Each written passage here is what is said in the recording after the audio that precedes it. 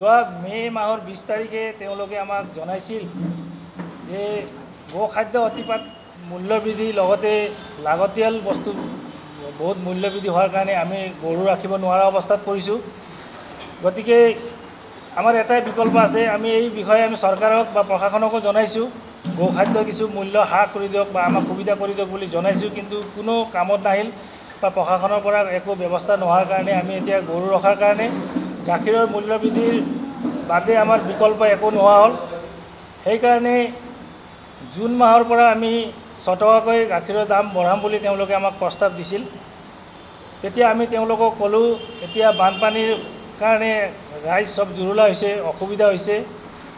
এইটো কাৰণে আপোনালোকে এতিয়া জুন মাহ নহয় দুই চাৰি মাহ পিছত আপোনালোকে এইটো সিদ্ধান্তটো লওক। এক নম্বৰ আমি তেওঁলোকক অনুৰোধ কৰিছিলোঁ। দুই নম্বৰ আছিল আমাৰ ৰেটটো এনেকুৱা এটা ৰেট ৰাখি দিয়ক যে গৰুও বাচিব লাগিব আৰু ৰাইজেও অসুবিধাত নপৰে। তেনেকুৱা এটা মাজৰ ৰেটটো আপোনালোকে নিৰ্ধাৰণ কৰি সিদ্ধান্ত কৰক কিয়নো আপোনালোক আপোনালোক প্ৰডিউচাৰ আপোনালোকৰ বস্তু কিমানত বিক্ৰী কৰিব লাগে কি কৰিব নালাগে সেইটো আপোনালোকে জানে। সেইকাৰণে আপোনালোকে এইটো মাজৰ এটা ৰেট মানে নিৰ্ধাৰণ কৰি আপোনালোকে ঘোষণা কৰক বুলি আমি কৈছিলোঁ। তেওঁলোকে যোৱা পঁচিছ তাৰিখে দুমাহ পিছুৱাই আহি যোৱা পঁচিছ তাৰিখে চাৰি টকাৰ প্ৰতি লিটাৰ গাখীৰৰ দাম চাৰি টকাকৈ মূল্য বৃদ্ধি মানে কৰিব আৰু এই ৰেটটো বৃহত্তৰ গুৱাহাটী দুগ্ধ ব্যৱসায়ী সন্থাই ক্ৰয় কৰিব লাগিব বুলি তেওঁলোকে জনাইছে। আপোনালোকে গম পাইছে সেইটো বিষয়।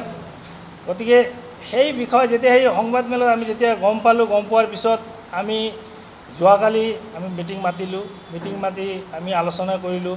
বৰ্তমান পৰিস্থিতিত মূল্যবৃদ্ধি যেনেকুৱা হৈছে। গতিকে গৌপালক যিটো প্ৰথমে ছটকাৰ ডিমাণ্ড কৰিছিল পিছত আহি চাৰি টকা হেৰি কৰিলে দুটকা হ্ৰাস কৰিলে। আৰু যিটো জুন মাহৰ পৰা বঢ়াম বুলি কৈছিল আগষ্টলৈ আহিছে। সেইটো কাৰণে এতিয়া আমি চিন্তা বহুত চিন্তা চৰ্চা কৰি আমি এই ৰেটটো একচেপ্ট কৰিলোঁ। আৰু ৰাইজকো আমি অনুৰোধ কৰোঁ সংবাদ মাধ্যমৰ যোগেদি যে বৰ্তমান পৰিস্থিতিত গোটেই বস্তুৰ দাম বাঢ়িছে যদিও এইটো গাখীৰৰ মূল্য এইটো সময়ত হোৱাৰ কাৰণে ৰাইজক অসুবিধাত পৰিব। তথাপি তাৰ মাজতো চলিব লাগিব আৰু গৰু পোহাৰ কাৰণে বহুত কষ্ট আছে। বা গো খাদ্য যেনেকুৱা অতিপাত মূল্যবৃদ্ধি হৈছে গৰু ৰখাৰ কাৰণে মূল্যবৃদ্ধিৰ বিকল্প তেওঁলোকৰ হাতত একো নাছিল। গতিকে এই ৰেটটো গৌপালক সন্থাই যিটো সিদ্ধান্ত লৈছে সেইটো আমি একচেপ্ট কৰিলোঁ। এইটোৱে আৰু। আপোনালোকৰ মাধ্যমেদি ৰাইজক জনাব বিচাৰোঁ। আমি ইয়াত মাৰ্জিনটো আমাৰ বাঢ়িব লাগিছিল আমাকো মূল্যবৃদ্ধি হৈছে আমাৰো কেৰিং খৰচ আছে বা গাড়ীৰ খৰচ আছে লেবাৰ খৰচ আছে কিন্তু আমি এইবাৰ মানে আমাৰতো মানে মাৰ্জিনটো বঢ়োৱা নাই। তেওঁলোকে যিটো চাৰি টকা বঢ়াইছে আমি সেইটো চাৰি টকাটো বঢ়োৱাৰ সিদ্ধান্ত লৈছোঁ। এতিয়া আমি মাৰ্কেটত আপোনাৰ ফিফটি থ্ৰী ফৰ্টি পইচা মানে ত্ৰিপন্ন টকা চল্লিছ পইচা হৈ আছে।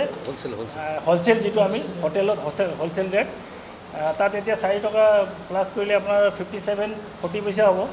আৰু ৰিটেইল যিটো আমাৰ অফিচিয়েল ৰেট আগৰ পৰা আছিল ফিফটি ছিক্স এতিয়া হ'ব ছিক্সটি হ'লচেল ৰেট যোৱাবাৰ মানে বৰ্তমান আজি তাৰিখলৈ হ'লচেল ৰেটটো আপোনাৰ হেৰি ফিফটি থ্ৰী ফৰ্টি পইচা আছিলে। এতিয়া আপোনাৰ চাৰি টকা প্লাছ কৰিলে ফিফটি ছেভেন ফৰ্টি পইচা হ'ব। এইটো মানে মিঠাই দোকানীসকলৰ কাৰণে। সেইটো নহয় সেইটো এতিয়া ছাপন্ন টকা আছে অহা এক তাৰিখৰ পৰা ষাঠি টকাকৈ হ'ব। আৰু সকলো আমাৰ উপভোক্তাসকলে যেনেকুৱা চাৰি টকা গাখীৰো বিক্ৰী বৃদ্ধি হোৱাৰ পিছতো এতিয়া ষাঠি টকাকৈ দিবলৈ আমি অনুৰোধ জনাইছোঁ।